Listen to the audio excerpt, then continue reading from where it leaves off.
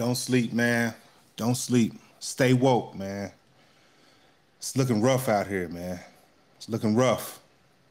To stop a bill proposed by members of his coalition to make it criminal to tell people about Jesus in Israel. Our Jerusalem correspondent Daniel Cohen is live. Ooh.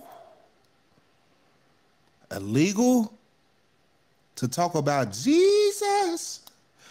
To talk about Jesus in Israel? Oh, man. Near Tel Aviv with more. Good morning, Daniel.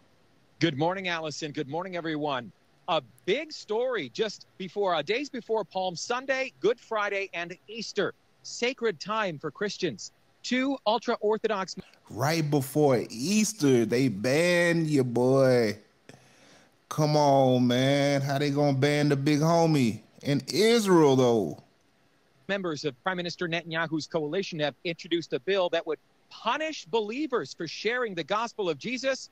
Punish believers Hey, man. The end of times is coming. I hate to tell y'all, man. No jokes. It's it's looking rough. You know what I'm saying? This is something that's that's way way. Eh, we knew it was coming though. It was all written. With prison time, United Torah Judaism Knesset members Moshe Gafni and Yaakov Asher introduced legislation last week making it illegal to share in conversation or produce content online, in print, or by mail. Their explanation of the bill emphasizes a warning to. You can't even be caught talking to somebody about it. You can't even be caught talking to somebody walking down the street and mention Jesus and and you going to jail, man. Prison time. Prison time. to stop Christians in particular. So many. Hey, this is a whole different lane, man. You know, uh, uh, it's a touchy subject. I don't want to get too deep into it. I just want y'all to stay woke.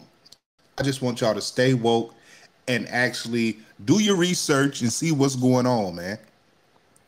Because it's getting ugly out here, man. They banned the big homie Jesus in Israel, and it, it's not it's not looking good, man. I pray for everybody, man. Um, I just want y'all to stay woke. Stay woke, man.